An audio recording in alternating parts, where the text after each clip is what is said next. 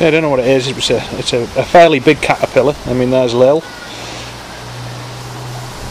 And there's the caterpillar. About the same size as a slug. She's not happy about it though. You know, are you, Lil? Let's get a bit of a closer look.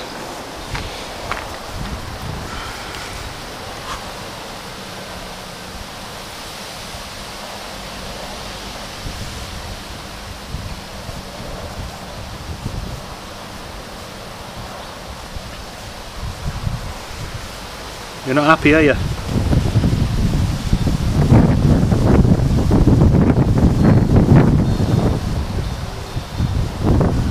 See some sort of big moth.